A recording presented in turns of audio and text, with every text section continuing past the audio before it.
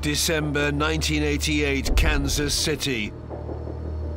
Robert Berdella finally confessed to kidnapping, raping, torturing, and then killing six men, four and a half years after the murder of his first victim. To him, they weren't living, feeling, breathing individuals. They were literally just pieces of meat, and he would do with them what he wanted. He took hundreds of photos and kept vivid, detailed notes to document his macabre acts, using ever increasing twisted methods to cause unimaginable pain and suffering. This was not a spree killing. This was not somebody out of control of their actions. This is somebody who knows what he's doing, knows what he wants to do, and does it. That is the definition of evil. After murdering them, he dissected his victims with such precision he became known as the Kansas City Butcher. And then he would cut the bodies up with a butcher knife and a chainsaw and then put them in the trash. His dark fantasies, sick mind, and horrific torture of six men that sometimes lasted weeks at a time makes Robert Berdella one of the world's most evil killers.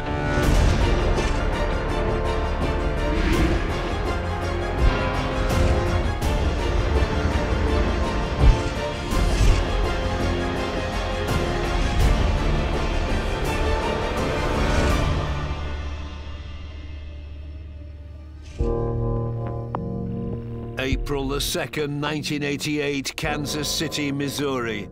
A man wearing nothing but a dog collar was found in the street. He was taken to a house nearby where he pled for police to be called. A police investigation revealed a horrific series of murders that took place at the hands of one man who systematically and methodically kidnapped and tortured young, vulnerable men before killing them. Berdella is evil because he took advantage of the weak and he just performed so many unpleasant acts on them while they were alive. For Berdella, it's more than just killing, it's cruelty.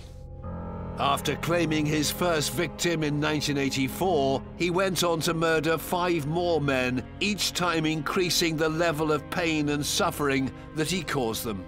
Berdella had a complete disregard for human life, and I think what he was always aiming for was to create this compliant, docile sex slave.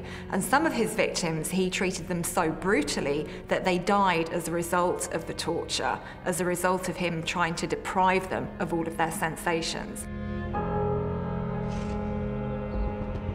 Rick Holtzclaw was the assistant prosecutor for the sex crimes unit in Kansas City. We would prey on those who uh, were down and out or needed some help. Um, he would befriend them or take them in, and that's how it would begin. Berdella's crimes would go unnoticed for years until one day one of his victims managed to escape and call for help. Troy Cole was the lead detective on the case. We decided to bring in a backhoe to dig up that one particular spot where it looked like it might have had a grave marker to it. And uh, Sure enough, on the second scoop of the backhoe, it pulled up a human head. And that was the first time that I realized we had a homicide investigation, and it was probably going to be a, a big investigation. Until this point, Berdella was seen as an upstanding member of the local community. Roy Orth was a sergeant with the Kansas City Police Department. Robert Berdella was a member of the arts community in Kansas City, Missouri, a former student of the Kansas City Art Institute.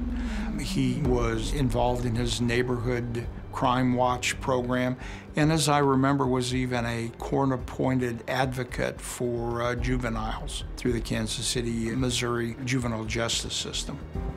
This seemingly normal member of the Kansas City community went from being an upstanding citizen to an infamous serial killer.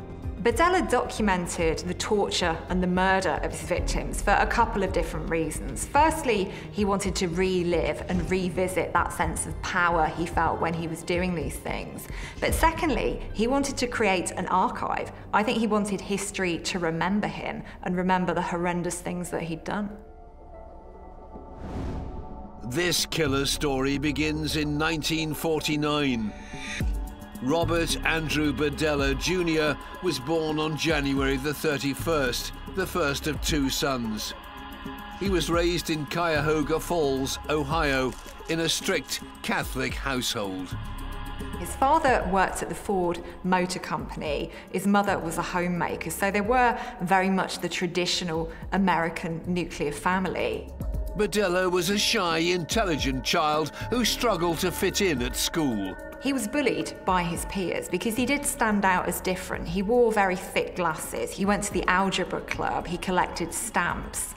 So there was that sense in which he always felt that isolation from his peer group. Then, in his mid teens, his world was turned upside down. Berdella's father died of a heart attack when he was 16, and this did have quite a significant impact on him because his mother remarried and she went on to set up another home with somebody else. And I think that Berdella really did feel a sense of rejection here. He was part of his mother's past. The world had moved on and he was left behind. Around the same time, Berdella had been working part time. There's a particular incident that Berdella later recalls that is potentially significant. Berdella claims that he was raped when he was an adolescent at a restaurant where he worked. Berdella never reported the incident to the police. In 1967, after graduating high school, Berdella enrolled in Kansas City Art Institute. At this time, he'd begun exploring his sexuality. He'd realised that he was certainly gay, and it was pretty apparent to him that his father would not have approved of that. He's also been brought up in the Catholic Church, so I think there is very much an underlying sense of shame there. By 1969, Berdella had begun to experiment with drugs. He quit college after tutors failed to understand his twisted art projects, often involving live animals. He may have been a bit nerdy to look at and a bit strange, but he was clearly talented. In need of a job, Berdella put his talents to a new use. Berdella started working as a short order chef and quickly rose. He developed quite a good reputation in the local community as people were talking about the food that he was making. And he bought his own house. He had quite a bright future. He really was a figure that commanded respect in the local community. By his mid to late 20s, Berdella had also developed a passion for collecting, and this hobby soon became a business in its own right. He was obviously a very good chef, but it wasn't his only talent. He also collected art and antiquities, this was a man of quite considerable taste, working at some of the best restaurants and at the same time operating a boutique called Bob's Bazaar, Bizarre, selling art and antiquities. The boutique became Berdella's full-time job and he began to rent out rooms in his home to help make ends meet. Some of those lodgers were vulnerable young men who'd receive bed and board in return for carrying out jobs around the house and at his antique shop people who'd run away from home, young gay men, uh, couples, uh, rather a sort of benevolent figure. As far as the local community concerned, an entirely upright and straightforward citizen. In 1984, Berdella's behaviour began to get bizarre. His house had become literally a warehouse of all sorts of odd objects. This man, who previously had been sort of pillar of the local community, was becoming increasingly odd. And he also, I think, began to despise the young men who came seeking shelter. In March that year, age 35, Berdella began a relationship with a 19-year-old male former sex worker, Jerry Howell. Berdella knew his dad, who also had a stall in the flea market. So Jerry hung around with his dad, so Berdella knew both of them well. Jerry had had some issues with drugs. He'd had some issues with the criminal justice system. And I think Berdella was, was seen to be this trusted figure. So when Berdella offers to help him, he offers to lend him money. Jerry takes him up on this. He doesn't pay him back, though. On July the 5th, 1984, he picked Jerry up from the flea market to help with some jobs. But Jerry was more interested in getting loaded. Berdella gave him drugs and alcohol, and they headed home. But getting increasingly frustrated with Jerry using him, Berdella gave Jerry some stronger medication that caused him to pass out. When the victim became virtually unconscious, Berdella would inject him with drugs, giving him absolute control over the body. He would then repeatedly rape the victim over a very extended period, in this case, 27 hours. When he returned from work, the torturing continued. He's not only sexually assaulted, he is struck with a metal ruler, he's given a cocktail of drugs before he's even killed. So we have a mixture of somebody who's going to be confused by what's going on, they're going to be confused by the drugs they've been given, and then he's being physically and sexually assaulted. It's just a horrific way to die. The following night, Jerry was dead. Berdella had meticulously detailed the torture and murder in extensive notes and photographs. One of the things that Berdella did immediately after Jerry had died was to note down and describe precisely what he did with the body, which effectively was to drain it of blood and then dismember it and wrap it up in garbage bags. He kept a detailed record because, in many ways, that was the kind of character that he was. He took pride in his work. He was completely cold and isolated, interested only in his own satisfaction, which makes it all the more chilling. Berdella bagged up the remains with all the instruments he'd used and dumped it in the trash, which was picked up the next morning.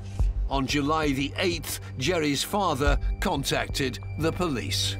Jerry's father reports him missing, um, and Berdella is interviewed by the police in relation to this. Um, and Berdella says, Well, I dropped him off at the 7 Eleven, the convenience store. And at this point in time, why wouldn't the police believe Berdella? He's this upstanding figure in the community. He's not somebody who would appear to have a reason to lie. So unfortunately, this case goes cold. Then officers received a tip-off from one of Berdella's previous boarders, Todd. One of Jerry's acquaintances, who was also known to Berdella, actually tipped off the police that they thought that Berdella may have been involved or at least given Jerry a hot shot injection. But there was no body. Nobody knew where Jerry was. Berdella was put under surveillance, but no evidence was ever found. Jerry Howell's father always thought that Berdella had done something to his kid. He just couldn't prove it. And uh, but but yes, he was very suspicious of him. Jerry Howell's body was never discovered. Berdella had developed a sick taste for torture and murder. And after getting away with his first crime, he began to look for ever increasing, horrific ways to get his sexual kicks. Nine months after he tortured and murdered his first victim, 19 year old Jerry Howell, Robert Berdella took his next victim. So Robert Sheldon was somebody who had stayed with Berdella before at his house. So there was a degree of trust in this relationship, and it was trust that Berdella really did take advantage of. On April the 10th, 20-year-old drug addict Robert Sheldon appeared at Berdella's door looking for somewhere to stay after an argument with his girlfriend. Shortly after he set foot inside, Berdella put his sadistic plan into action. He keeps him for four days.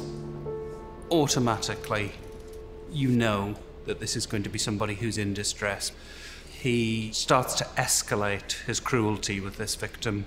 He injects drain cleaner into his eyes, he fills his ears with caulking material, there's damage to the hands from piano wire, he's hitting him with a rubber mallet. All of these things are acts of cruelty, and they would not kill you. It's subduing the victim. He did some horrendous things to him, but the thing that really stood out for me was the tattoo that he gave this victim on his shoulder. He was almost branding this man, saying, You are mine, I own you, and I possess you.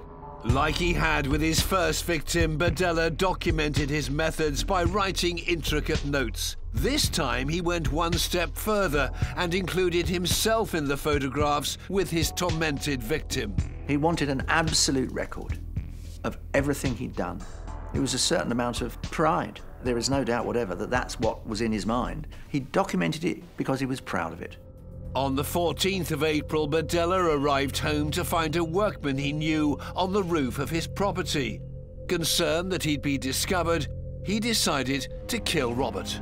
And he becomes quite paranoid because he knows this guy. So Berdella takes matters into his own hands and he goes and places a plastic bag over the head of his victim, essentially ending his life. Berdella began his ritual act of cutting up his victim's body piece by piece. Dismembering a body is not the easiest thing in the world to do, but if you have some knowledge, like a surgeon or a chef, then you can quite effectively dismember a body, and that makes it easier to dispose of. This horrific expertise in chopping up bodies later earned Berdella the nickname the Kansas City Butcher. In keeping with his obsession with collecting, this time Berdella decided he wanted to keep a souvenir of his actions. Berdella's second victim, Robert, he dismembered the body and cut off the head. But this time he didn't put it all into black garbage bags and put it out for the garbage truck. He kept the head first in the freezer in his house, and he later buried it in the garden where it decomposed as a kind of trophy of the killing. And this is really significant for me because the head is what gives somebody their identity. It's what makes them a human. I think by keeping the head, Berdella wants to be able to say, I'm the one that has depersonalized this individual. I'm the one that's dehumanized them. Berdella had now tortured and murdered two people without being caught. The following June, just two months after his last murder, he struck again. Mark was a young man who had helped out around Berdella's house. He'd mown the lawn for him a few times, and Berdella discovered him intoxicated in his shed one day. He invites him into his home, and so begins the process of torture, as had been the case with previous victims. 20 year old Mark Wallace was gagged and injected with a cocktail of drugs to sedate him before he was restrained and raped. Mark was Berdella's third victim. And again, I think we have with this the escalation and the experimentation. We have injection of drugs. He's used the rubber mallet again to strike his victim, but now he's applying electric shocks. When Berdella returned from work that evening, he found Mark trying to free himself. Berdella sedated him again before continuing to rape and torture his victim. It's almost as if he has a compliant victim and he's thinking, what will this do? Electric shocks are rarely fatal, but they can be tremendously painful. As had become his custom, Berdella kept a record of his barbaric actions in his diary. On the 23rd of June 1985, he wrote, 7 a.m., no signs of life. He died as a result of the torture. And in previous cases, we've seen this happen before. Once again, Berdella lived up to his alter ego of the Kansas City Butcher. He's dismembered with a safety razor, a knife and a saw, and then literally left out with the rubbish. With three local men now missing, rumors amongst Kansas City sex workers began to spread. The male sex workers of Kansas City had developed quite a wariness of Robert Berdella. He'd developed something of a reputation at this time for being aggressive with people, for wanting to tie them up, wanting to aggressively rape them. So there was definitely a sense in which this guy was somebody to steer clear of. This guy was potentially dangerous. Berdella was well known for haunting what you might describe as gay bars, as the gay community.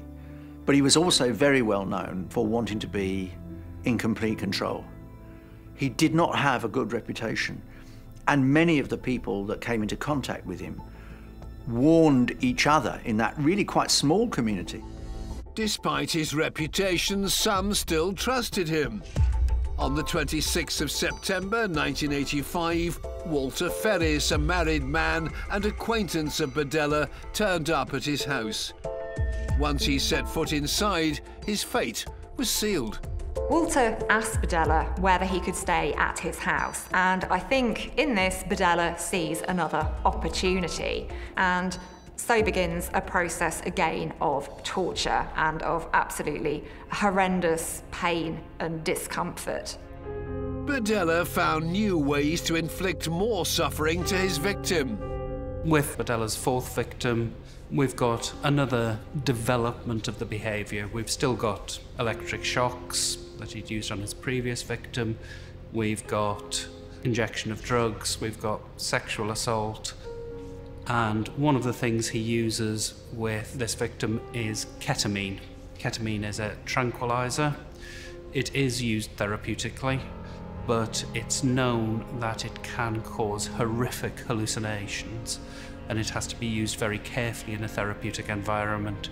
So potentially we're looking at all sorts of horrible hallucinations added to the horrible things that are actually happening to him. It is a horrific set of circumstances that one cannot even really begin to imagine. Yet again, Berdella documented each and every step in minute detail. Berdella by now was escalating his torture. Extraordinary things were done to these poor men. And yet again, there was an exact record of what he could survive. I suspect part of the reason for that was that Berdella wanted to see how much a human body could take, what it could accept. He wanted to test everything to its limits. He wanted to see how far. Could I, can he take that? Could he take more? In less than 24 hours, Walter was dead. Walter Ferris died at around midnight, the day after he was captured by Robert Berdella. Berdella disposed of Walter's body in the usual fashion, so he dismembered it in his bathtub and he put the pieces of Walter's body out with the trash. Days after his disappearance, Walter's wife reported him missing to the police. His wife and mother suspected Berdella because the last time that Walter left the house, he said, I'm going over to Berdella's, and he was never seen again. For the second time in approximately 15 months, Berdella was questioned and put under surveillance. But investigators quickly hit a dead end. The Missing Persons Unit did an investigation. They did their best to uh, further the investigation along, but they were just unsuccessful. There was not enough evidence to charge him. They went to his house. They tried to buy drugs undercover from him. There was various things they did to try to uh, to make a case. They they were just unsuccessful. In just over a year, Berdella had detained, savagely tortured, and killed four men. Each murder he committed increased in brutality as his dark imagination seemed to know no limits. Yet he continued the pretense of an upstanding, if eccentric, member of the local community, and police had no reason to link him with the disappearance of his victims. The police had no suitable cause to search the house, so as far as they were concerned, Berdella was simply helping the police with their inquiries. They had no concrete evidence whatever against Berdella at that point. On June the 17th, 1986, Berdella selected his next victim. In the red light district of Kansas City, he picked up 23-year-old casual sex worker and drug addict Todd Stoops. Berdella's next victim, Todd, had already had contact with him over a number of years. Indeed, had suggested to the police that Berdella might have been guilty of killing his first victim with an injection, which was never proven.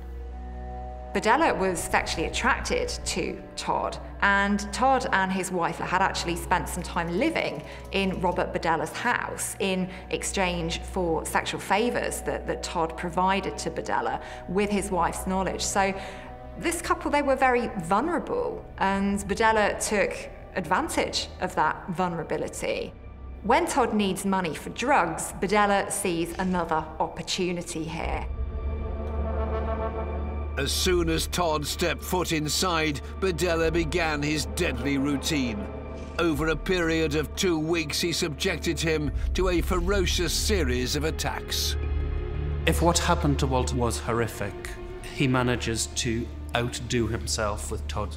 So we have nearly a fortnight of captivity with torture, whipping, sexual assault again, all sorts of horrific physical acts to degrade, to cause pain. But he's also once again organized, he's planning. He thinks injecting Drano into the eyes will blind his victim, which it does, makes it more difficult to escape. He injects it into the voice box to stop him screaming. These are not the acts of a madman, these are planned, deliberate actions of somebody who knows what he's doing and why he's doing it. Berdella took extensive photographs of the torture and the demise of Todd. I think Berdella felt that Todd was a, a, significant victim for him. He felt that attraction to him. And it wouldn't surprise me if he'd been at the centre of quite a lot of fantasies he'd had about having a sex slave. On July the 1st, 1986, Todd died of septic shock from an infection caused by the injuries he had received.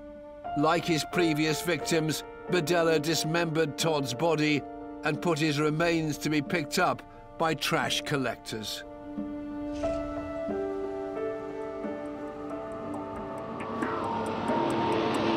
On the 23rd of June 1987, a little less than a year later, the Kansas City butcher saw his next opportunity.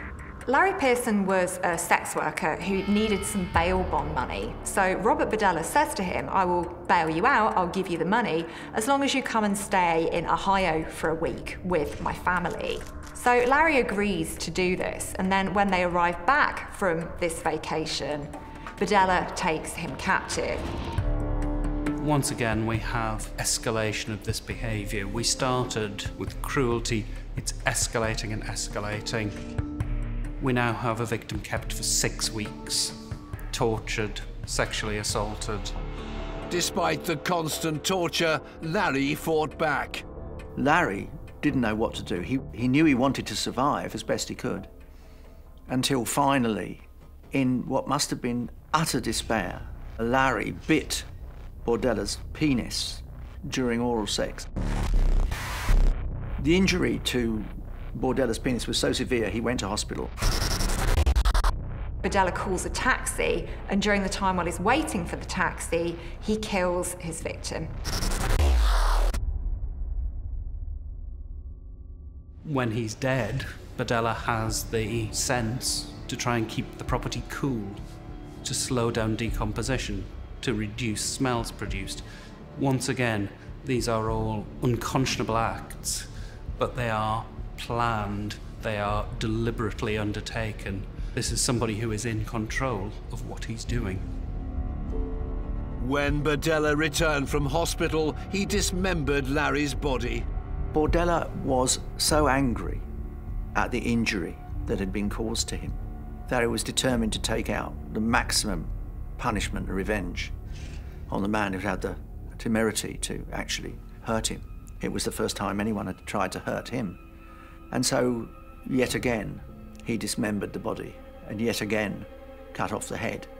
Only this time he went out into the garden, dug up Robert's head, put Larry's in the same hole, and proceeded to bring Robert's head into the house, clean it up, take the teeth out, put them in two envelopes, and put the skull, which was all that remained at that point, into a closet in the upstairs of his house. Heads are very, very significant for Berdella, and I think the head of Larry is a very important one because this is the guy who has come closest to Berdella's fantasy of having this sex slave. He's the guy who's survived for six weeks. He's survived the longest, and I think he wants to commemorate that. But Berdella's barbarous nature was far from satisfied. On March the 29th, 1988, he picked up 22-year-old male prostitute Christopher Bryson and took him back to his house. So Christopher Bryson was wandering the streets when Robert Berdella picks him up. and he offers him a beer and they, they drive around in his car for a while. Berdella then says, Well, come back to my house and you can have a beer there. So Christopher agrees and they go back. He was brought home to provide sexual favors for Berdella and was told to go upstairs as soon as they got there. As Bryson mounted the stairs and started walking up, he was struck from behind and rendered unconscious. With his victim sedated and held captive, Berdella began his deadly ritual. Once again, he is tortured, he is assaulted, he is given bleach in the eyes, but this time it's swabbed onto the eyeballs rather than injected in. That would probably be even more painful. There are many nerve endings on the globe of the eye which would react very badly to the bleach. Repeatedly electrocuted, raped, and injected with a cocktail of sedatives, Christopher remained a submissive captive for four days. But on the morning of April the 2nd, 1988, when Berdella had left for work, Christopher managed to set himself free. He finds some matches and he's able to actually burn through the robes that Berdella had restrained him with. So he flees the house wearing only a dog collar he must have been an extraordinary sight, a naked man wearing a dog collar. He runs across the street, meets a meter reader who's going to a house. They knock on the door. The house owner is astonished, opens the door astonished, won't let Christopher into the house, but does call the police. Roy Orth was a sergeant with the Kansas City Police Department when they received the call. Chris had been severely physically abused uh, and was asking for help. District officers got there, found this was probably going to be some kind of an unlawful restraint, uh, abduction situation, and called the Sex Crimes Child Abuse Unit, and our detective responded. Rick Holtzclaw was the assistant prosecutor for the Sex Crimes Unit in Kansas City. Roy Orth called me and said, we need you. And I said, you don't need me today. Um, and he said, no, I'm telling you, we need you on this one. He may have told me briefly what it was, that we had someone who had escaped naked with a dog collar. It became evident that they were going to need some assistance, so I went to the home on that Saturday afternoon, and we began the investigation, getting search warrants, and that's how it began. In just over a three-year period, Berdella had held brutally raped, tortured, and killed six men and got away with it. Unknown to the police, they were about to uncover the shocking crimes committed by a sadistic serial killer, Robert Berdella. Troy Cole was the lead detective in charge of the case. I first became aware of him uh, April 2nd, 1988. Um, I was working in the homicide unit. It was a Saturday and uh, was called out in regards to a sodomy. The guy alleged that he had been kidnapped and held captive for a number of days, and I was the duty sergeant, which meant that I handled the homicides, the robbery, and the sex crimes for that particular day. Christopher managed to escape and flag down a passerby. That's what brought us to the residence. The traumatized victim recounted his ordeal and gave police the name and address of his captor. When Berdella arrived home that evening, the police were waiting for him. When Berdella drove up to the house, we asked him for identification and he produced it. He said, I live here. And at that point, he was immediately arrested for investigation of sodomy.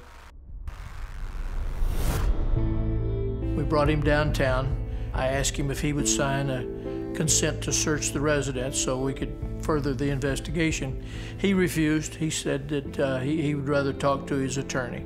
So at that point, we booked him into the city jail and prepared to get a search warrant. With Chris's testimony, police were able to obtain a warrant to search Berdella's property the same day. When we first went up to kick the door in, we could hear large dogs in the background, so we called animal control out. Immediate reaction was the house was filthy, had a stench, the, the odor was horrible, uh, clutter and dog feces everywhere. It was one of the worst houses I'd ever walked into. Using the information that Christopher had given them, officers searched Berdella's property for the room where he'd held his victim captive. So our initial thought was to try to find the room to verify his story. So we go upstairs, and after a brief period of time, we found the room that he had described. We found the bed that he had described, and it had restraints tied to the bedpost. So we were pretty sure at this point his story maybe had some legitimacy to it. There was a device underneath the bed plugged into the wall that was, a, it appeared to me to be a, an electric train transformer and there were jumper cable clips on the ends of it so that he could attach them to different parts of somebody's body and then increase the electrocution level by turning the transformer selector. In searching the rest of the house, officers discovered Berdella's most prized collection. We discovered several hundred, probably two to three hundred Polaroid photographs that he had taken. Uh, some of the people in the photographs were in obvious signs of being tortured. Eventually, we were able to find detailed torture notes that Berdella had kept on several people, six in fact. And in reviewing those pictures, probably the most telling was one of a young man that was hanging suspended upside down from a steel I beam and what we later learned was the basement of the Berdella home. And this person appeared to be deceased. As the police combed the property, they discovered more and more evidence of Berdella's horrific crimes. A short time later, we found a skull in a closet which appeared to have been probably fairly recent. The officers gathered the evidence. The following day, a pathologist was called in. We had called in a doctor to examine the skull that was in the closet. And he said that in his opinion, that skull probably was less than two years old, and, uh, but it would obviously require further examination. So at that point, we sort of cataloged what we could find in the house that looked like it might, might have some evidentiary value to it. One was a bag of what appeared to be human vertebrae that had, were very clean. Um, obviously, they'd been uh, boiled out, bleached, almost looked like plastic. We also found a skull that was obviously uh, human and hadn't been bleached out yet. The police returned to Berdella's home the next day and they left no stone unturned. Berdella kept dogs in the backyard in, a, in an enclosure. And in looking at the backyard, the grass was noticeably greener in a couple of areas, which caused me to think that you know, possibly there was something else there. So at that point, we decided to bring in a backhoe to dig up that one particular spot where it looked like it might have had a grave marker to it. On the second dig, there was a sucking sound as it dug in and lifted out.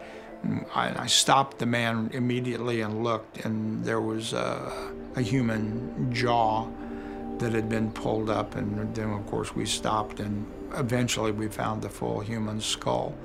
What it appeared that he was doing was once he would dismember his victims, he collected the skulls and then would clean them by burying them in the backyard. And after they'd been out there for whatever time he felt was necessary, dig them back up and then clean them out, boil and bleach them. When police extended their search to Berdella's shop in the bazaar, they found a macabre window display. As you walked up Westport Road, there was a display of human skulls. I think there were two, I can't remember now. And initially, these were so clean that they appeared to be plastic, but it was later determined that they were also Berdella victims. Berdella's obsession with his crimes and brazen behavior were his undoing.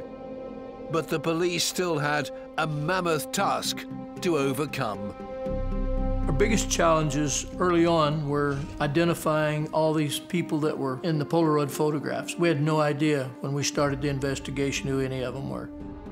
Of the 200, they were not all facial shots. There were some body parts and, and, and, people in various stages, but we needed to identify the skull that was found in the closet, and we needed to identify the human head that we dug up in the backyard.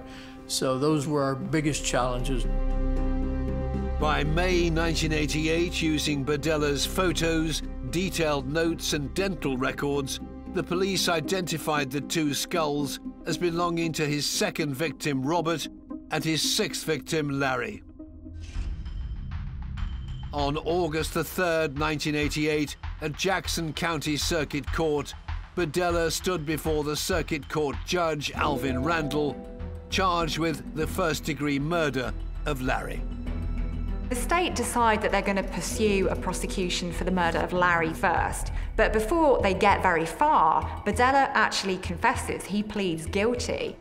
I think everyone was stunned. Uh, strategically, I think it was a great move on the defense team because at that time kept the state from filing the death penalty charges against him. Everyone was surprised. I think he pled guilty because he was scared of the death penalty. And I think he felt like we were going to go for the death penalty. And at that point, he started working out a deal with his attorney to let's try to cut a deal to save my life. As the prosecution prepared to take Berdella to trial for the murder of his second victim, Robert, he made a plea bargain. Part of the guilty plea was that Berdella sat down with his two defense lawyers and then also with Mr. Hall and Mr. Reeder, the prosecutor and the assistant prosecutor from the murder division. And they spent two days under oath on the record, and he would lay out what he did to these victims. From the 13th to the 15th of December, Berdella fully confessed to all six murders. We spent three days with him over in the Jackson County Jail and he was very matter of fact in describing all of the murders. Basically, he didn't show any remorse.